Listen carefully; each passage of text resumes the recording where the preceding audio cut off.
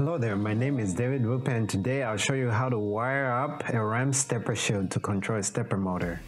First, you begin by picking up your RAMPS shield. Next, we'll need to plug the positive in to the screw terminal. Make sure you get the polarity correct. And then you plug the negative end of the cable, which is black, and tighten it down. Following which, we're going to use some jumpers and install them. This will allow us to use micro stepping for more precise control. And then you actually install your stepper driver. Next, pick up your Arduino and install the RAMPS shield on top of the Arduino.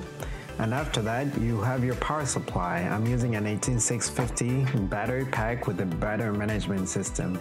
And now we will install the stepper motor plug in the power and then we'll provide power to the Arduino which if you've got your program will start moving it.